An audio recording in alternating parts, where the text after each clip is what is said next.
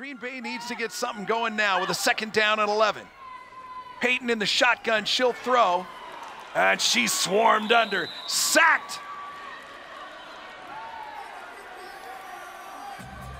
Yahshi Rice got there first, and now she's talking crazy to the Green Bay offense. The bookend, Chantell Taylor and Yahshi Rice, they met at the quarterback for a big sack.